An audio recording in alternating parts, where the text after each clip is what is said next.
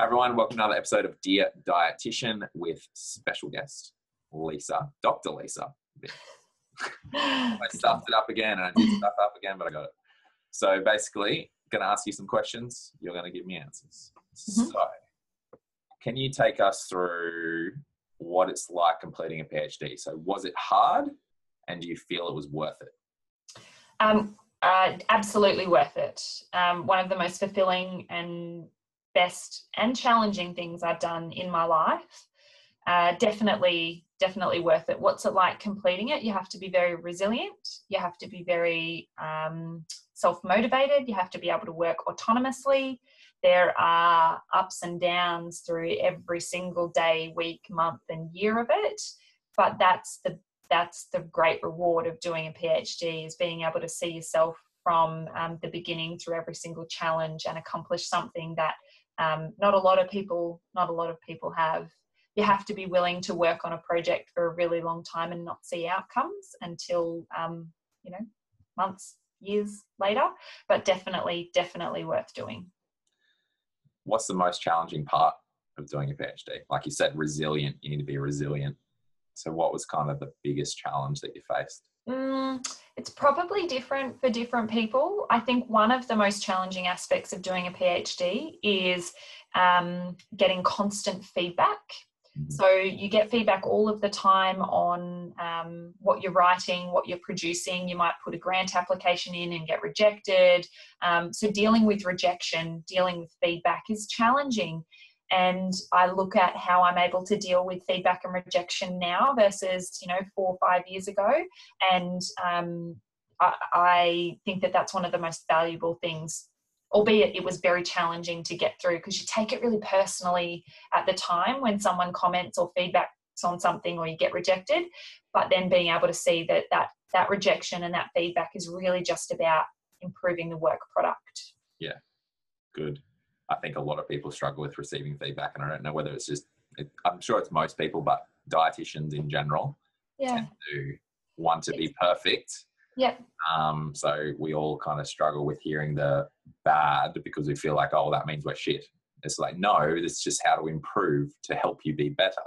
yeah and i think it's a it's a process and i think as as you go through your journey as a clinician or a researcher you have a responsibility to help the people underneath you to get better at dealing with feedback and you can teach people how to get better at dealing with feedback um, but that's definitely a front of mind challenge through phd is it's constantly um, from a net number of angles um, getting rejected or receiving feedback but that's the greatest joy then is being able to overcome that Yeah. Yeah. So the reward at the end of the challenge. definitely I know that you, when Peta and I answered a question from um, a viewer uh, who said, Do you feel like it's worth doing an honors Mhm. um, in your undergrad? Peta and I both, like in terms of getting a job as a dietitian, Peta and I both said, Nope. Um, Yep. Because we felt like if you're getting a job, it'll be like it'll be a platform maybe to do a PhD or get a job in a hospital where you might want to do research there, or if it's um, uh, yeah, like going to uni and do lecturing eventually, but we didn't see the value in it in Mhm. terms of what, yeah. So, what was your response to that? Yeah, I, I didn't agree with it at, um, at all. Um, and I told you that Yes. as well. Yeah, You didn't tell me exactly why, so I'll, I'll Yeah. let you say it here. yeah, absolutely. Um, look, I think if you haven't done, maybe if you haven't done honours, like neither of you have done honours, or, although Tyson, I would say you did research major with masters, which I is um, equivalent in a in a lot of cases. It's it's a little bit shorter um, in in some honours programs. The benefit of doing honours is the development of a skill set that you can't get in um, in not doing honours. Exactly. I just talked about um, resilience, dealing with feedback. That is what you go through with doing honours. So you're developing skills in things that you wouldn't otherwise have been exposed to, whether that's dealing with feedback or whether that's collecting some kind of data collection or whether that's learning how to critically appraise evidence. That's only going to enhance your ability to be a clinician and read literature and be able to, to make um, you know, um, informed decisions about that literature. These are skills that you get to develop through doing honours. Yeah. You also get to um, persevere through difficult times. And as an employer, if I um, knew that um, someone had done honours, you can see that they have persevered through doing something that can be quite challenging. They've got to the end of it, they've produced something, um, they've got uh, a diverse range of skills that may not be directly applicable, but you know, being able to academically write, you can transfer that to being able to write, um, whether it's um, GP letters or um, general communications. I think the skills that you develop in doing honours are incredibly valuable. So that's part one. Part, part two, one. Yeah, part two of my yeah, part two of my response is that how do you know what you want to do? So I think that if you if you go, oh, honors is a waste of time, I'm not doing honors. In five years' time, you go, man, I want to do research, but you didn't do honors. It makes it very your pathway to then get back into it can be more difficult. So I think closing the door off and saying definitely.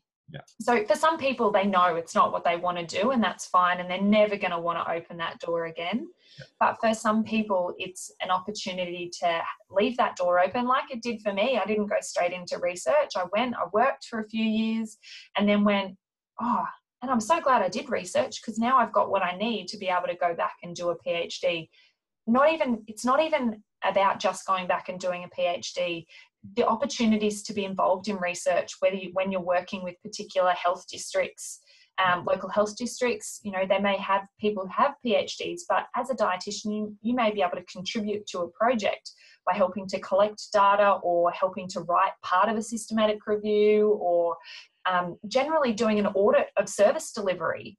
All of those skills that you did in an honours program are going to contribute to that. You don't have to make a career in research out of it, but I absolutely think that if it's something that you're interested in, it's definitely worth it. And for me, it is not about what letters are after your name um, or, or, or anything like that. It's about the skills that you have and being able to demonstrate in an interview. If someone says, um, you know, um, describe a way that you've been able to to demonstrate you know critical judgment or critical evaluation and then you can talk about what you did in your honors project um, i think that it's very valuable so there's my there's my passionate two cents worth about doing doing sounds good like you know, valid very valid points and you know probably some that we would overlook slightly in terms of the resilient part. Like i think that's a really good thing and something that I think people in private practice need to like based on my experience they need to learn that resilience because a lot of the time what they thought was going to work with the client won't work or they get a client that's just really difficult and like why won't you listen to me